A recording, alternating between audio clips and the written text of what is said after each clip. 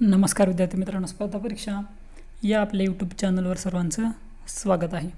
आज आपण मराठी या विषयाचा घटक पाहतो आहे ज्याचं नाव आहे वाक्यांचे प्रकार. आणि वाक्यांचे प्रकार जे आहेत ते दोन प्रकारांवर पडतात. त्यातला पहिला प्रकार आहे अर्थावरून पडणारे प्रकार आणि दुसरा प्रकार आहे वाक्यात असणाऱ्या विधानांच्या संख्येवरून पडणारे प्रकार.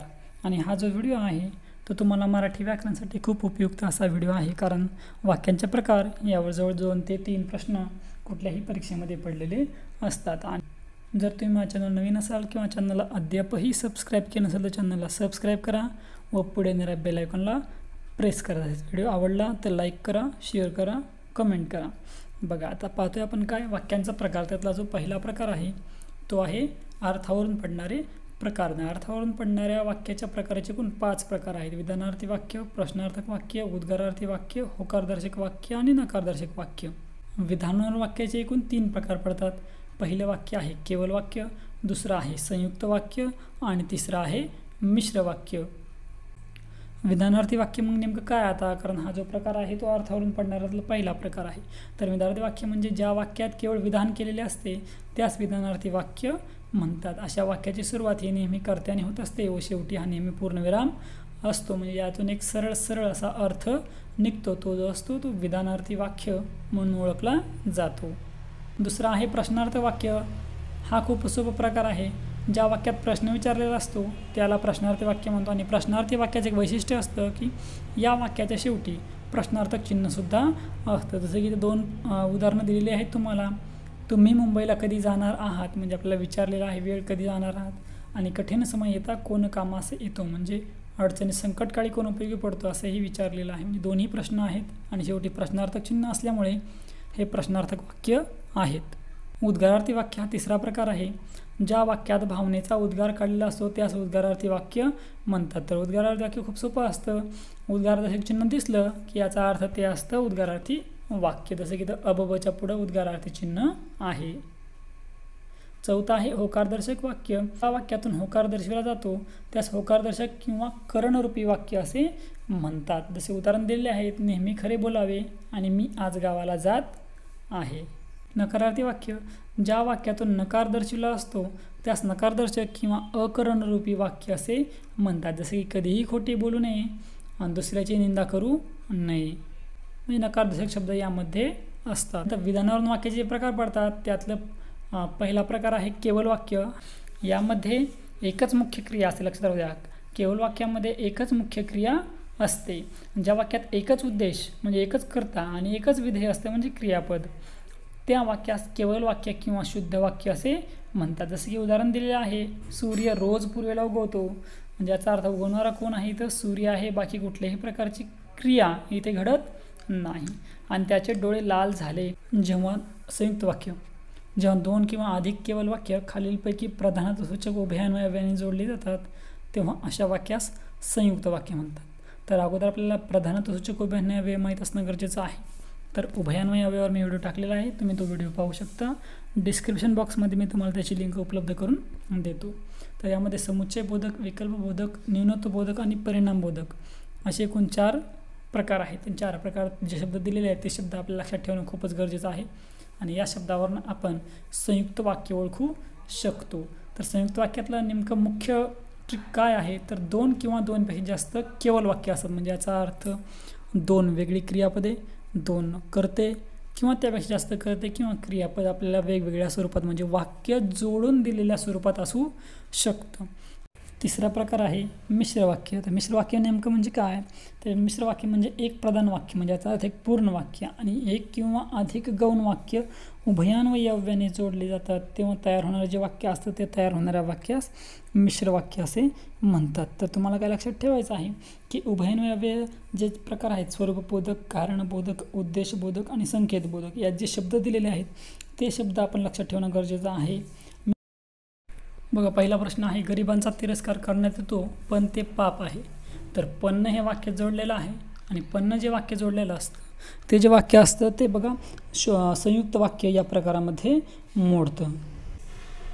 मला परीक्षेत पहिला वर्ग मिळावा हे कोणते वाक्य? खूप सोपं आहे. मला परीक्षेत पहिला वर्ग मिळावा म्हणजे सरळ सरळ सोपं आणि सरळ वाक्य आहे. असे जे वाक्य असतात एकच कर्ता आणि कर्म असले क्रियापद असलेले हे वाक्य जे असतात ते विद्यार्थी या वाक्याच्या प्रकारामध्ये मोडले जातात. आकाशात जेव्हा ढग जमतात तेव्हा मोर नाचू लागतो. हे वाक्य कोणत्या प्रकारचे आहे? तर जेव्हा तेव्हा आलेलं आहे म्हणजे याचा अर्थ आपल्याला एक कारण दाखवलेलं असतं पुढं की कुठली गोष्ट जी घटना घडलेली आहे त्या घटनेसाठी कारण दाखवलं असतं. जर कारण दाखवलं असेल तर ते प्रत्येक वाक्य हे मिश्र वाक्य या प्रकारामध्ये मोडतं. केवढा मोठा धबधबा हा आणि पुढं उद्गार चिन्ह दिलेलं आहे म्हणजे खूप सोपं आहे. उद्गार चिन्ह दिले म्हणजे याचा अर्थ हे जे वाक्य आहे ते उद्गारार्थी वाक्याच्या प्रकारामध्ये मोडलं जातं.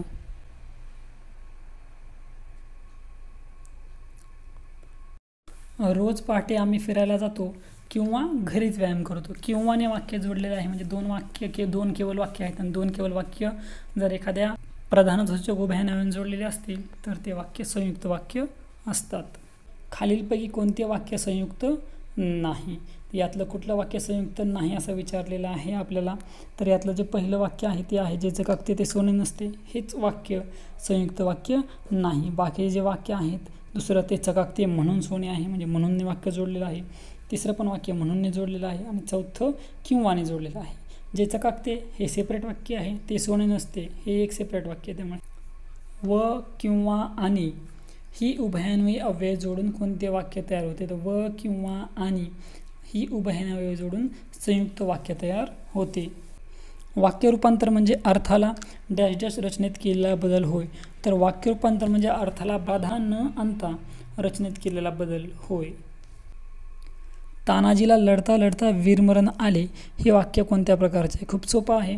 यामध्ये एकच क्रियापद आणि एकच कर्ता आहे तर अशा प्रकारचे जे वाक्य असतं ते केवळ वाक्य या प्रकारामध्ये मोडतं. म्हणजे पर्याय क्रमांक तीन. खालील वाक्याचा अर्थानुरूप प्रकार ओळखायचा आहे. सचिन क्रिकेट चांगले खेळतो. अर्थानुरूप प्रकार ओळखायचा आहे म्हणजे याचा अर्थ बघा इथं अज्ञान असणार आहे. स्वार्थी वाक्य नाही आणि नकारार्थी वाक्य नाही. सचिन क्रिकेट चांगलं खेळतो म्हणजे याचा अर्थ इथं आपल्याला एकच करता आणि एकच क्रियापद दिलेलं आहे. म्हणजे याचा अर्थ हे जे आहे ते विधानार्थी वाक्य आहे. राजांनी गनिमा कावा करण्याचे ठरविले तेव्हाच खानाचा पराभव निश्चित झाला. ही वाक्यरचना कोणत्या प्रकारची आहे? हेही खूप सोपं वाक्य आहे. अशा प्रकारचे वाक्य असतं तेव्हाच म्हणजे याचा अर्थ जेव्हा पण असणारच आहे ते आपल्याला फक्त लिहून दाखवलेलं नाही. असे जे वाक्य असतात ते मिश्र वाक्य या वाक्याच्या प्रकारामध्ये मोडतात. गरजेल तो पडेल काय? हे पण तसंच आहे. जो गरजेल तो पडेल काय? म्हणजे जो तो आलेला आहे. जो तो आल्यामुळं हा जो वाक्याचा प्रकार आहे तो मिश्र वाक्य या प्रकारामध्ये येतो. सूर्य बराच वर आला आहे. पण तो ढगाने व्यापलेला आहे. या वाक्याचा प्रकार ओळखायचा खूप सोपा आहे. पणने वाक्य जोडलेलं आहे म्हणजे याचा अर्थ हे जे वाक्य आहे ते संयुक्त वाक्य या वाक्याच्या प्रकारामध्ये मोडतं. संयुक्त वाक्यातील पोटवाक्य प्रधान वाक्याशी उभयान्वय अव्याने जोडलेलं असतं आणि उभयानं अव्यय वेगळे केले की सर्व पोटवाक्य केवळ वाक्य राहतात. तर यामधलं पहिलं जे विधान आहे ते पोटवाक्य प्रधान वाक्याशी उभयान्वय अव्याने जोडलेलं असतं. हे बरोबर आहे. आणि दुसरं जे विधान आहे उभयान्वय वेगळे केले की सर्व पोटवाक्य ही केवळ वाक्य राहतात. तर संयुक्त वाक्याचं वैशिष्ट्य असं असतं की त्यामध्ये दोन किंवा दोनपेक्षा अधिक केवळ वाक्य हे उभय अव्याने जोडलेले असतात. म्हणजे याचा अर्थ उभयान्वयी काढून टाकलं तर ते फक्त केवळ वाक्यच राहतात. म्हणजे दोन्ही विधानं बरोबर आहेत. ते विचारात मिश्र वाक्य या वाक्य प्रकाराचा विचार केला जातो. यात एकच केवळ वाक्य असते त्यानंतर गौण वाक्याचा मुळीच विचार केला जात नाही. जे ते जेव्हा तेव्हा या उभयनव्यांचा वापर केला जातो केवळ प्रधान वाक्यावरच भागते. खालील पर्यायातील कोणतं उत्तर बरोबर आहे असं विचारलेलं आहे ते एक लक्षात घ्या. यामध्ये जे ते जेव्हा तेव्हा या उभयान्वयी अव्याचा वापर केला जातो म्हणजे पर्याय क्रमांक तीन हे एकमेव पर्याय जो आहे तो बरोबर आहे. बाकी कठीण समय येता कोण कामास येतो या वाक्याचा प्रकार ओळखायचा आहे. तर शेवटी प्रश्नार्थक चिन्ह आलेलं आहे आणि प्रश्नार्थक चिन्ह आल्यामुळे हे जे वाक्य आहे ते प्रश्नार्थी वाक्य आहे.